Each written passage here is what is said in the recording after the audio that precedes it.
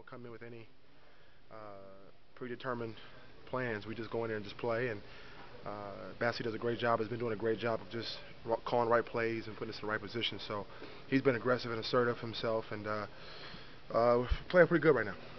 Last last week or so, your both your uh, scoring and your minutes have gone up a lot.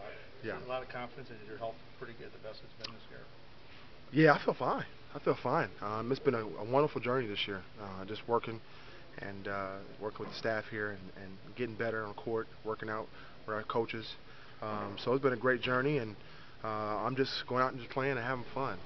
I don't think I would turn the corner. I've just taken advantage of the opportunity. Uh, you know, uh, minutes have gone up because Grant's obviously not available right now, and we need him. And so it's all uh, it's up to all of us to step our games up and, and continue to keep uh, the flow of the team going. What was it like in that second quarter? Um, fun, just fun. Uh, you know, I've been accustomed to doing that for the last eight, nine years of my career. So uh, it's always uh, an honor to be in that zone and, and, and to play like that. And